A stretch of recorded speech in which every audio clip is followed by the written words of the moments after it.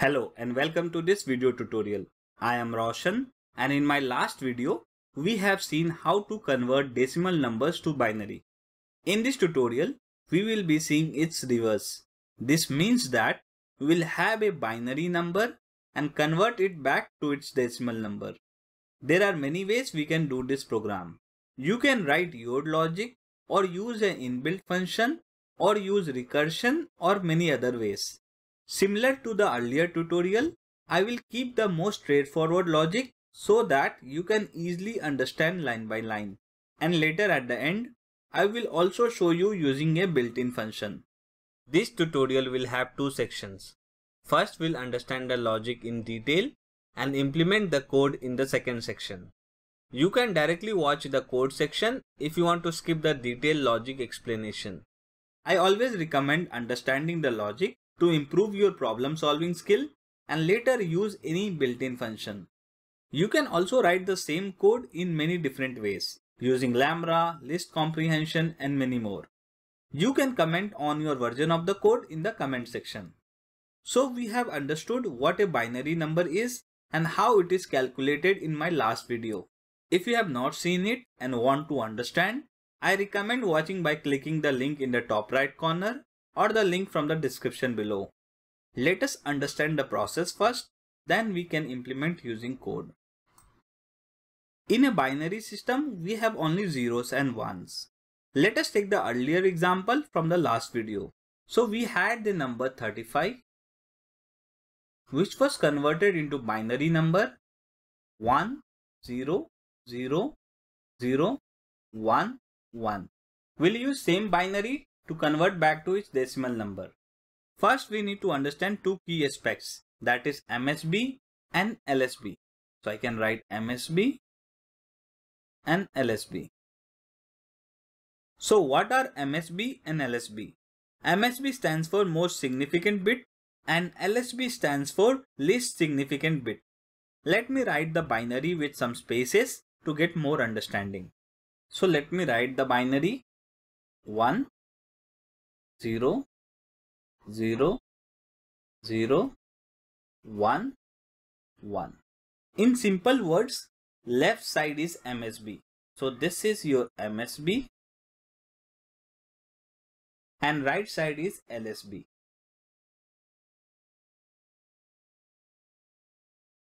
let me write the position of each bit from right to left.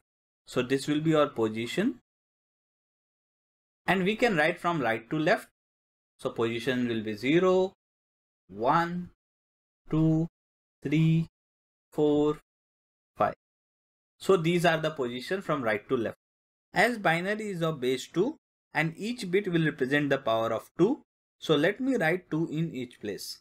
So i can write 2 in each place. Now we need to count the power of 2 from right to left where power starts from 0 in simple words, each position is the power. So the next step will be, we'll raise 2 raised to power 0, 2 raised to power 1, 2 raised to power 2 and so on. So the first bit will be 2 raised to power 0, the second bit will be 2 raised to power 1 and so on. Now we need to multiply each with its corresponding bit value. So for this, it will look like this 1 into 2 raised to 5, 0 into 2 raised to 4, 0 into 2 raised to 3, 1 into 2 raised to 1 and 1 into 2 raised to 0. So this is our next step.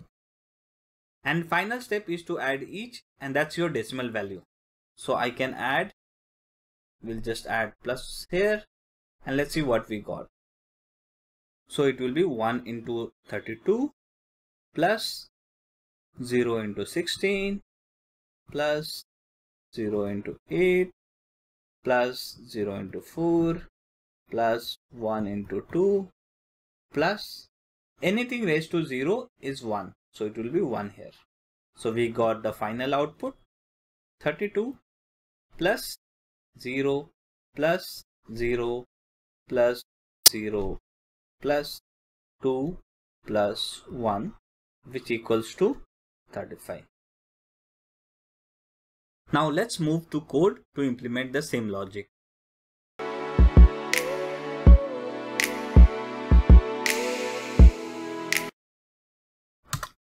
The very first thing we need is input from the user and the input should only contain zeros and ones.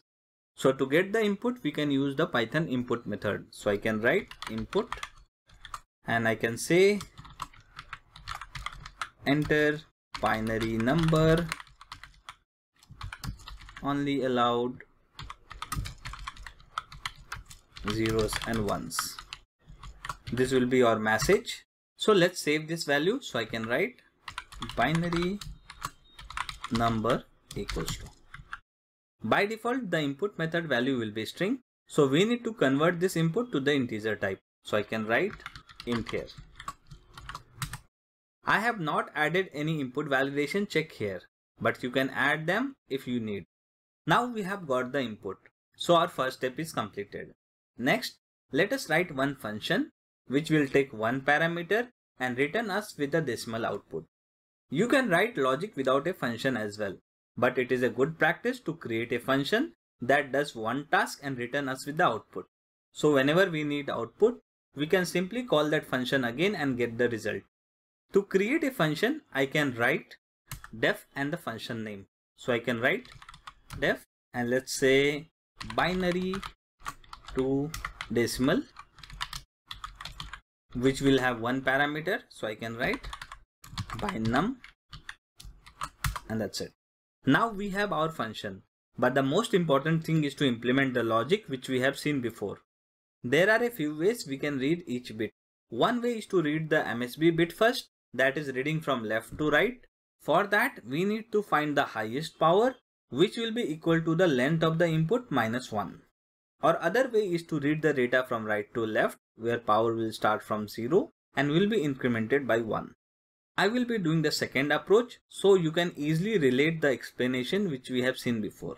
But you can modify the logic for the first approach and comment the code in the comment section. So the very first thing we need to find each bit from right to left. For that we can use modulus operation. So I can write bin_num modulus 10. This will give us the last bit from the right side or you can say rightmost bit.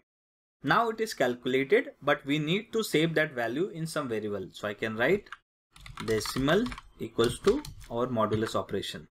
The next step is to calculate the power of 2 where power is the location starts from 0. For that we need a variable power that starts from 0 and will be incremented by 1 each time. So I can write power equals to 0. To calculate the power of 2, we can use the built-in power method. So I can write power, it will be raised to 2 and our power variable. This is something 2 raised to power 0. Now let us go back to our example to check the next step. So we did find the power, but next we need to do is to multiply with its equivalent bit and do sum of each of them. Now let's go back to our code so I can modify the same line. So I can write decimal into power of 2. As a final step, we need to add each one of them. To support this, we need one variable to store the sum. So I can write decimal number equals to 0. So I can modify the code. So I can write decimal number plus or operation as we need to find sum so I can write so it will look like decimal number equals to decimal number plus decimal into our power operation so this will help in calculating the power of each bit and adds it now we have done this for the last bit that is rightmost bit next we need to find next bit for the next iteration for that we'll use floor division so I can write bin_num equals to 2 forward slash and 10. This will trim the last bit from the existing bits. As we have seen in the example, this entire process needs to be done for each bit. For that we need a loop. Here I will be using a while loop. So I can write while bin_num not equals to 0. We need to run these steps until the binary num reaches 0. Let me move the code in the loop.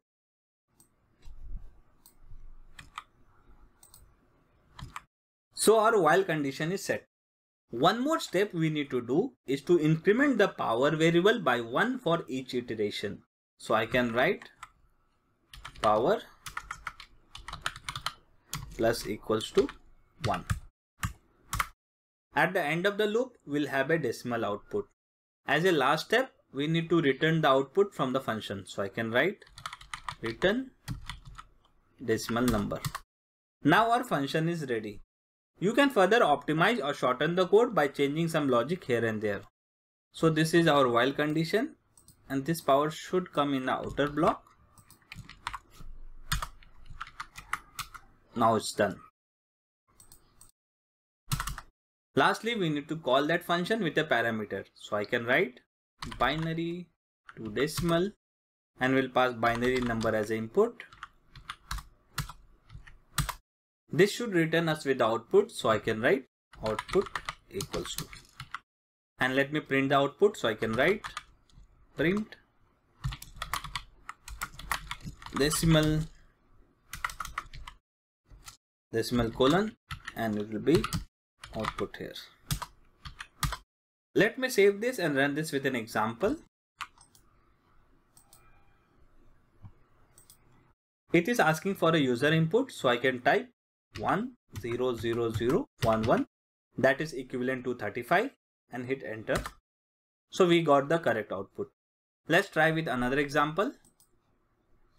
Let's say we have 15 and our binary will be 1 1 1 1 and it should give us the 15. That's correct. Now we understood how to convert binary to decimal. We also talked about some built-in methods. In Python, we have a few. Here we'll use the int method which converts the binary to its integer value. Before that, let me comment the existing code. So let me comment this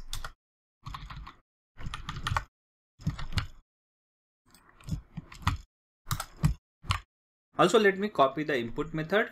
So I will just copy this line and paste it here. In this approach, we don't need integer input as we will be doing that in the next line. So let me remove that line. So let me remove this and input will be default as a string and just write int of and we'll pass binary number We also need to pass one option that is 2 which states it is a binary number. So I can write 2 here. You can combine both lines but for the explanation purpose I will have a different step together. So let me save this. Let me write output equals to or conversion. Let's print the output. So I can write decimal and output here. Let me save and rerun.